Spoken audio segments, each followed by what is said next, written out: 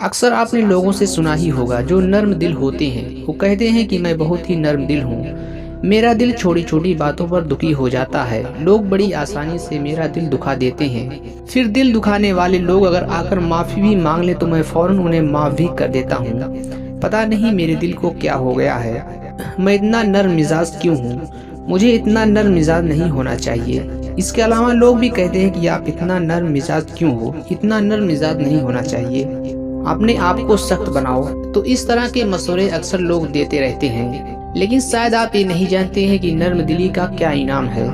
अल्लाह रब्बुल इज़्ज़त नरमी को पसंद करता है और जो सवाब नरमी पर देता है, वो सख्त दिली पर कभी नहीं देता। खुदा हर एक काम में नरमी को पसंद करता है।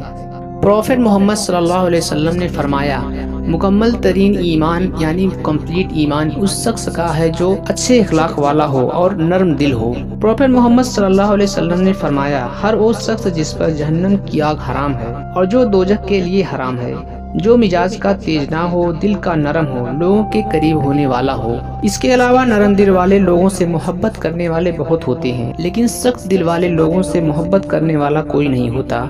बल्कि लोग सख्त दिल लोगों के लिए अपने अंदर खौफ रखते हैं। और उसी खौफ की वजह से लोग उनकी इज़्ज़त करते हैं, लेकिन उनसे मोहब्बत नहीं करते।